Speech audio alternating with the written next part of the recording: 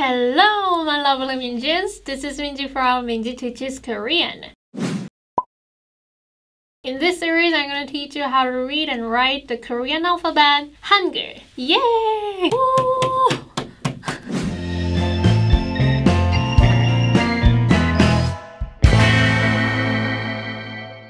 So if you like to learn Korean language or if you are trying to start learning Korean language, I would say memorizing Hangul is essential. Well, I've got many messages that they would like to speak Korean language but do not really know where to start. I would say Hangul should be the first step when it comes to learning Korean language. It is because just like English has a writing system called alphabet, Korean language also does, and it represents Korean language's characteristic very well. It perfectly matches because that's how it was created. I will mention about that a few minutes later, but yeah, reading Korean words with romanization, it actually just sucks.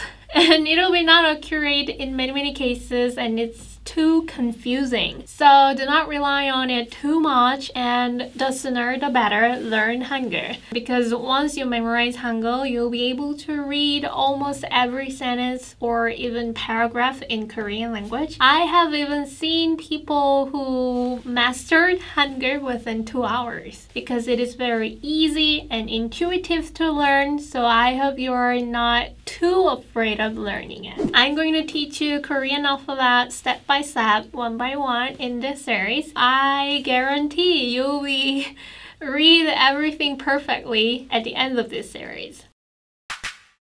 Alright, let's get started. Before getting into learning Hangul deeply, let me talk about a little story about Hangul and some fact about it as a warm-up session. Have you guys ever heard of how Hangul was created? Yes or no? It was actually created by King Sejong in 1443. You can see him in the Manwon or in the Gwanghwamun Square in Seoul. Anyway, um, before the creation of Hangul, Koreans used to use Chinese writing system Hanja because at the time there was no way to notate or transcribe Korean language.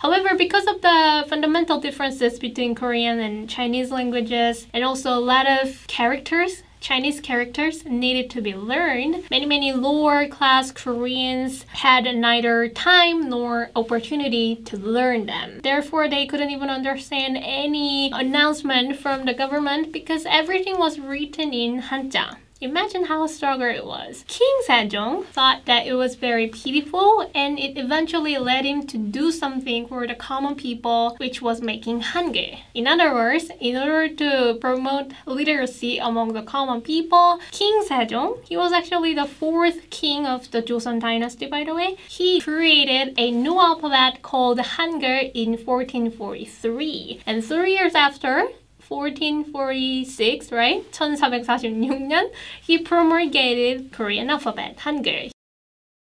He was like, hey, listen up, I've created a new alphabet called Hangul, why don't you guys use this? Of course, this was not his way of speaking, I'm just saying. But yeah, this is how it was created. And it is known that he and his scholars observed how humans' vocal organs worked when pronouncing Korean language's sound. And they try to symbolize it into every single Hangul letter. They try to apply principle of pronunciation to it. You might notice from this story, Hangul is very suitable for representing or dictating Korean language. So it will way easier to read the Korean words with Hangul rather than with Romanization. Just forget about it and learn Hangul. Then move on to the next. I would like to let you know some facts that are very important that you have to know. So first of all, Hangul consists of 19 consonants and 21 vowels. I know it's a lot, but don't worry, I will kind of narrow it down to make it easier to memorize in this series. What is more important here is this. Korean consonants or vowels, they have to be grouped into like a square instead of being written sequentially. For example, in English, you can write several consonants consecutively at the first in a syllable, right? As in school or sight. And the same goes for several consonants at the end, as in crisps. But in Korean, you cannot really list several consonants at the first or at the end in a syllable. For example, school is 학교, by the way. 학교, 학교, but we do not really write it down like 하, 기억, and 교. We do not write it down like this. Basically, all Korean letters, they have to be grouped into syllabic blocks. And there are certain rules regarding how they would combine. So we need to follow it. First one is C plus V, consonant plus vowel. Let me erase this. Consonant plus vowel. It can be either this way or this way. So first rule is consonant plus vowel. Consonant plus vowel. It can be either this way or this way. For example, let me write down a word for you. Na and no. So this one is consonant we are going to learn about this in the next series. Anyway, this is consonant and this is vowel. So you can write it down like this. A vowel is followed after a consonant. It is written right next to it, right? It means I in informal language. And no, you can also write it down like this. No. It means oar or pedal. It is written right below of consonant, right?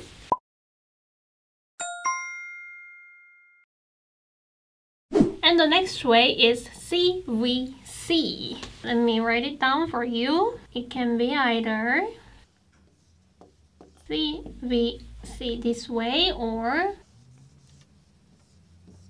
CVC. It can be either this way or this way. So, for example, so just like this, Kang consonant, vowel, consonant, and consonant, vowel, consonant. Kang means river and Kung means a ball. And in this case, there is an ending sound, right? Ending consonant, we call it 받침. We're going to learn about this in the next series. But yeah, you can write it down either this way or this way.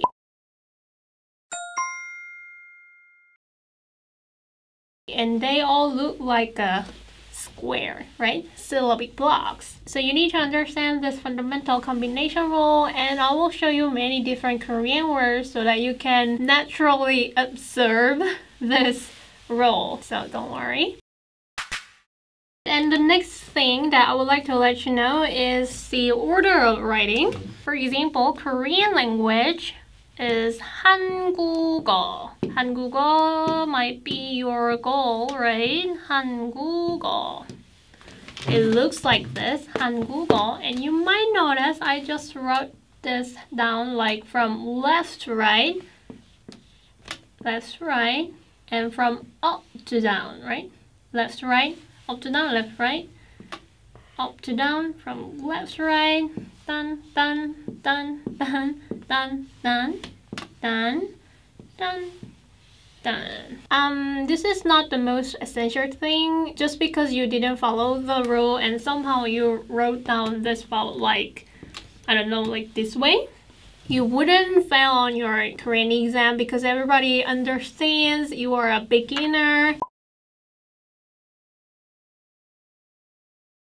So it is okay, but we always write down Korean sentence from left to right. And just like I told you, Korean consonants and vowels, they have to be grouped in a perfect square shape. So it is actually way easier for you write down Korean words or Korean sentences under this rule. From left to right and from up to down.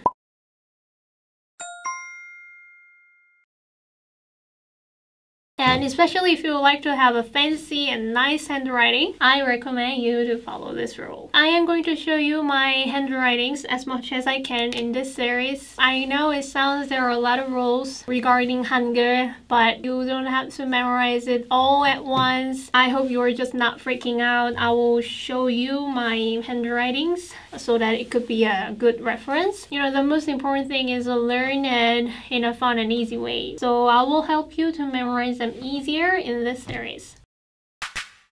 That's it for today. In the next following videos, you will be able to learn all the different Korean consonants. So I'll see you guys in the next time. Thanks for watching and if you like this video, please click the like button and if you haven't subscribed to my YouTube channel, please subscribe. Then 안녕!